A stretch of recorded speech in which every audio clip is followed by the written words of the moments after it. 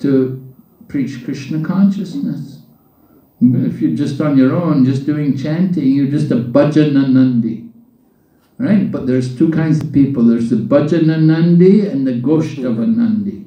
Goshtavanandi is the one who is preaching, who is distributing Krishna consciousness.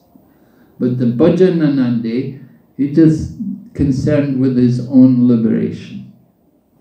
So we're not ready for that. That comes maybe at the end of life. You can sit and chant.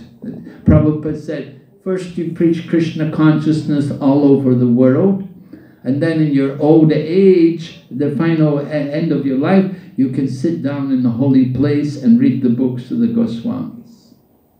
But while we're young, while you're young, healthy, then use your life for the service of Krishna. And the best service is to distribute Krishna consciousness. You go out and meet people and tell them about Krishna. Introduce them to Prabhupada's books and tell them about the Krishna consciousness movement. There's much more benefit for us if we do that than if we just simply do our own bhajan. So that's why Krishna is saying, but by accepting that challenge, then we get more mercy. The more we try to give the mercy, the more you get the mercy yourself. This is taught to us by Lord Chaitanya. Lord Chaitanya's movement is all like that.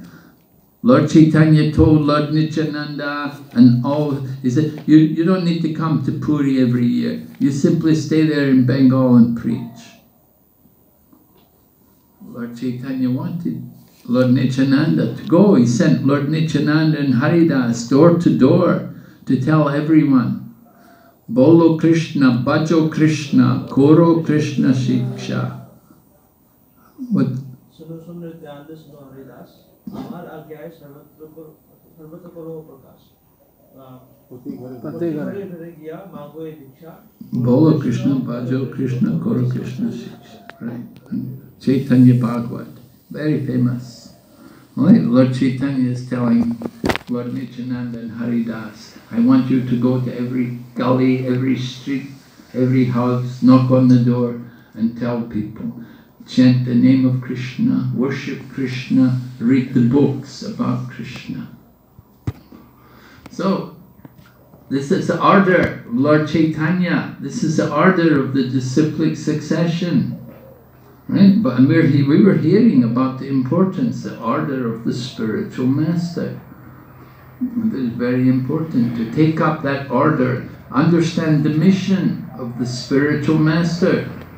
Prabhupada had that same mission to distribute Krishna consciousness everywhere. He went there to America with no money, with nothing, just a, he took his books, some volumes of the Bhagavatam to distribute. But he is showing us the example that we should preach Krishna consciousness.